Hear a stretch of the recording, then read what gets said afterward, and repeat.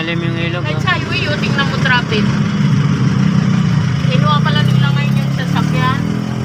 Traffic sa tulyahan. Sa Mitsubishi, sumakay lang sila ng baliwag. 3.30 ito daw pamasahe, dalawa sila dahil senior. Kaya tayo pagpupunta doon at ano, walang dalang sasakyan, 3.30 ito lang. Dalawa na tayo, no? 5.30 ng hapon, traffic. Bipid.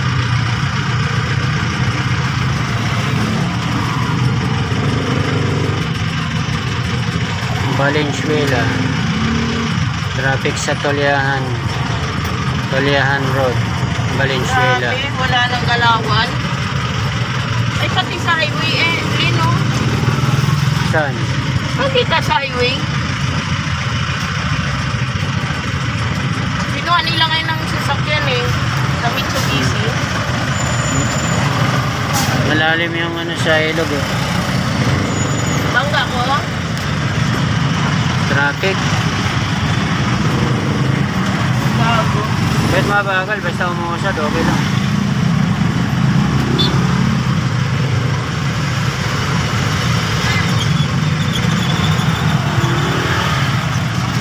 Di yata umusad eh.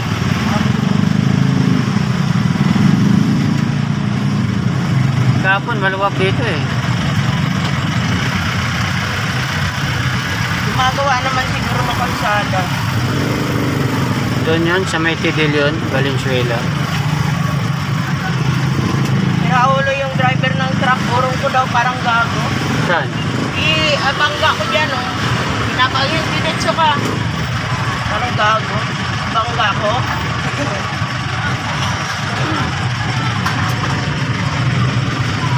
Hindi mo usad oh.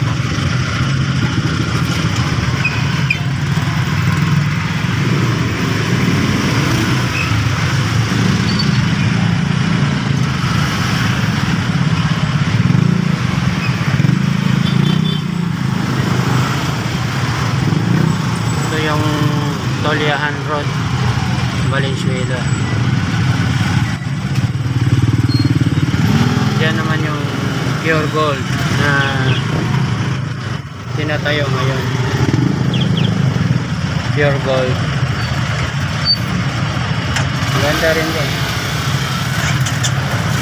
Yan yung pam-pam. Kung tawagin. Pam-pam.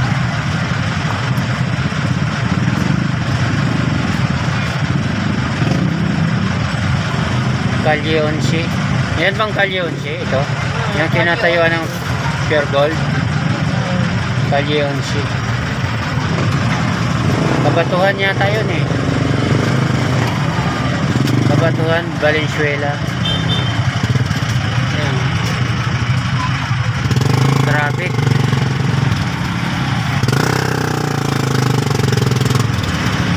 Pera lang mag-traffic dito sa Bado eh. Kailangan talaga pag pumunta kayo rito umaga pagkahapon nakita nyo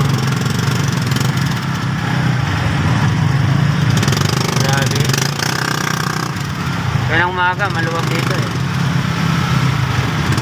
Kaya paghapon hapon kayo mamasyal dito sa Valenzuela dito sa may Tolyahan pag pumunta kayo ng Pure Gold bagong tayo po yung Pure Gold. Pag nabuksan na yon pwede na kayo mamili dyan. Pero kailangan maaga. Kasi tulad ngayon tignan nyo. Traffic oh. Ano, dire-diretso ng sakto. kahit mabagal basta dire-diretso lang. Minsan parang ayaw umusad eh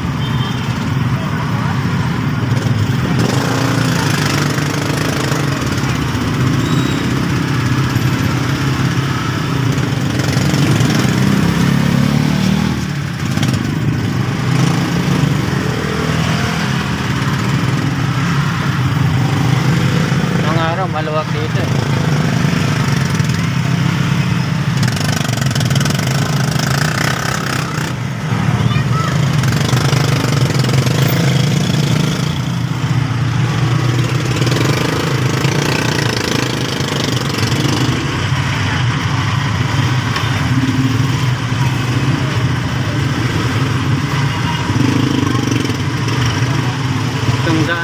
papuntang Karuhatan MacArthur Highway Valenzuela City.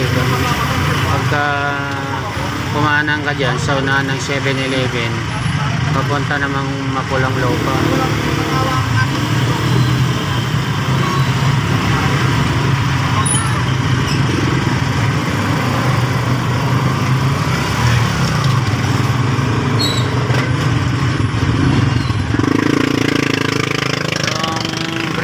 yung apo ko, panganay, diyan siya nag-aaral sa Corinthians. Corinthians School. Hanggang ano yan? Hanggang third floor. Yan po, Corinthians.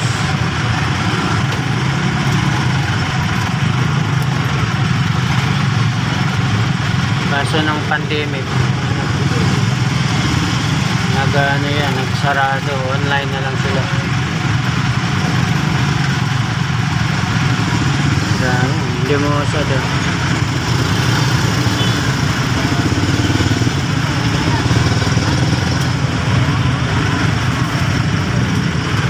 Hindi mo usad. Kahit mabagal, basta umusad, okay lang.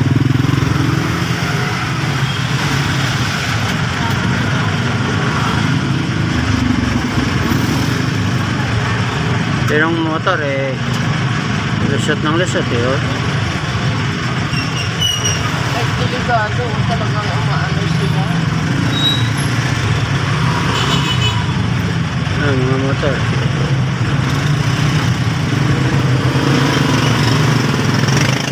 Mga motor, walang pag-alam sa traffic yan. Lusot ng lusot yan.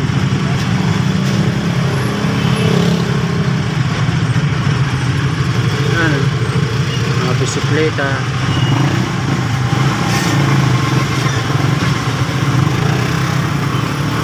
Walang pakialam yan. Lusot ng lusot.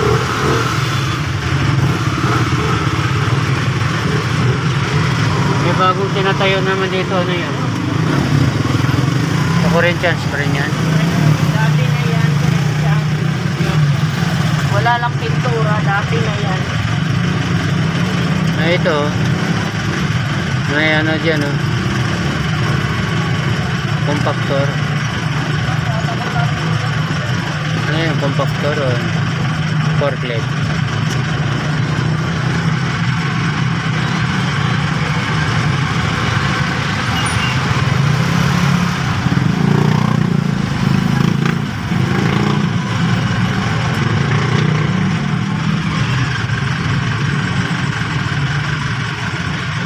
Diyan yata sa tapat ng kwan eh. Sa unahan ng One Mall. Di ba may binabakbak na kalsada? Baka diyan ang traffic.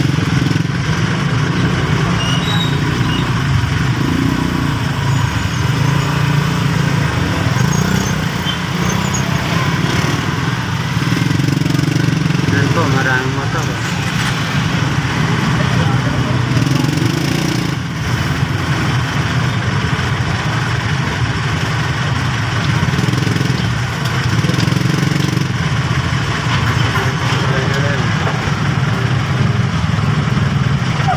Yung motor eh, kaliwat kanan yung tira eh. Pwedeng kumaliwa, pwedeng Ilang kumanan. minuto na tayo nito. 9 minutes na. Nangyari. Bagay, kumain na tayo eh. Pati-kapit na lang tayo pagdating sa bahay. Ah, grabe oh. Talubungan. Talubungan ng mga motor dyan.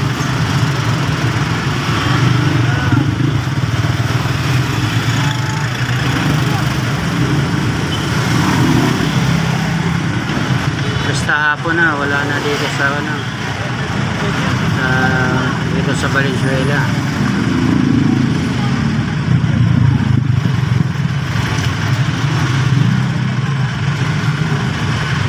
Bagong paligo pa naman yung aming e-bike. Yun, ayun. Nabalikin na.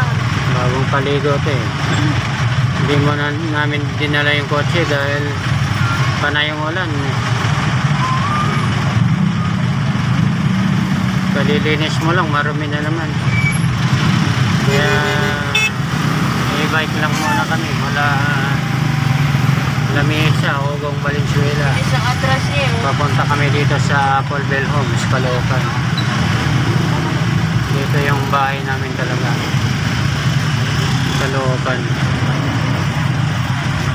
Santa Quiteria, Caloocan City. Yan, dami oh. Traffic. Traffic.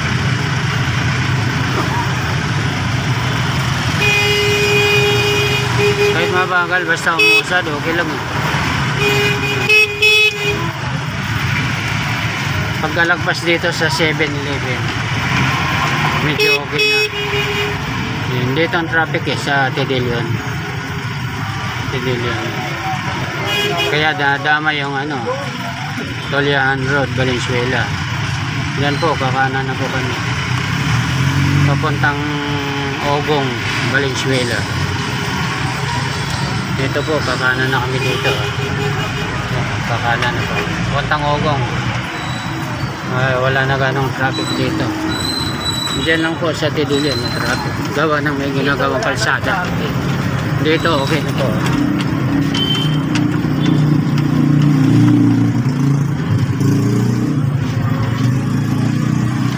Palengke ng Ogong. Marami kang mabibili dyan. Karne, isla, gulay, nandito lahat po.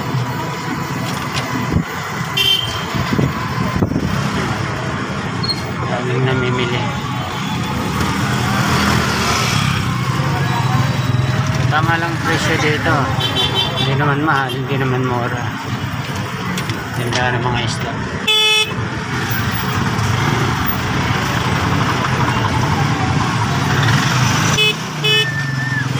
Ganda ng isla.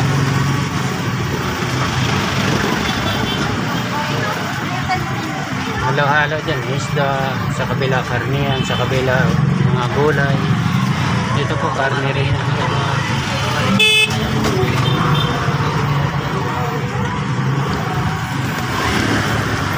Ito po, ogong na ito, Valenzuela.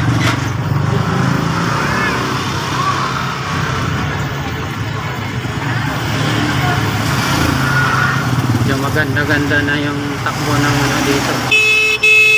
Sasakyan.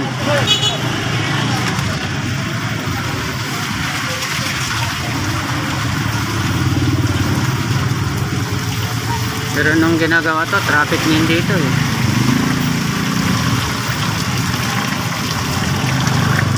Buti nakagawa rin dyan, malapad na. Pwede na sa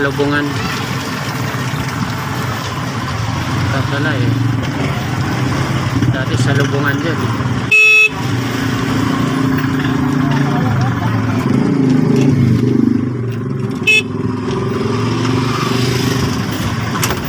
Pinagawa na ng aming ano eh.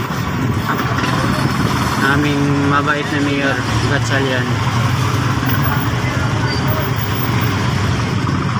Ganong kabait yung aming mayor, Gatchalian. Siya po ang nagpagawa dito. Kaya gumanda na po. Dati hirap dito. Dito may konting traffic.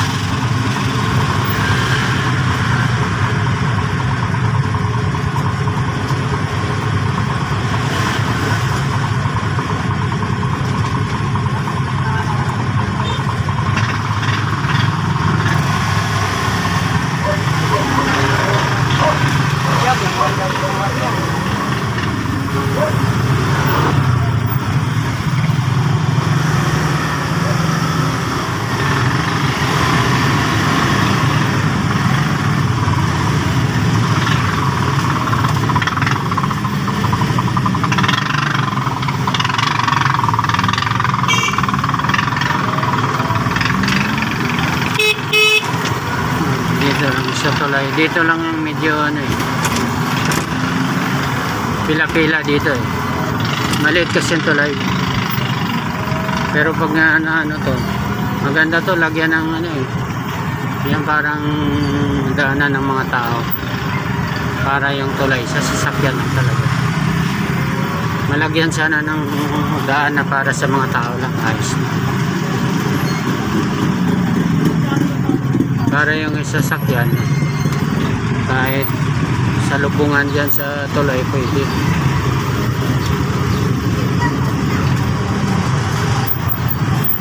Pero maganda naman yung daloy ng sasakyan dito.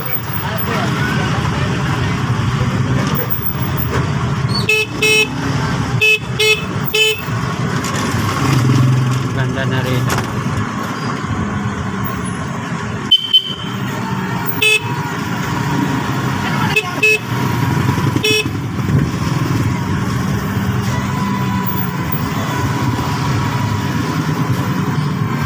yan sa unahan. Kay Grande na yung sa unahan no? Sa Grande Street to.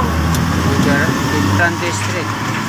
Pagdating doon sa may paliko sa puntang makulang Lamesa. kakanan kami lamisa naman. Lamisa street Ogong Valenzuela. Dito maganda na eh naayos na rin yung ano dito. Yung mga lubak.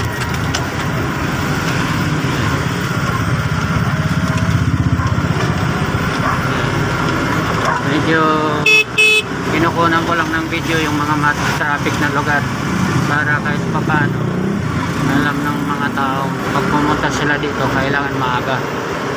Huwag ng hapon na. Dito na lang po ang aking video